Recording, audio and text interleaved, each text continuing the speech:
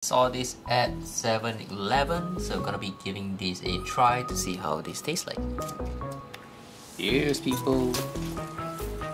So honestly speaking, I'm not sure how this is supposed to taste like, but the only thing I'm getting is lime water. The only thing I'm wondering is if this just flavoring, or I get a buzz, or I don't know.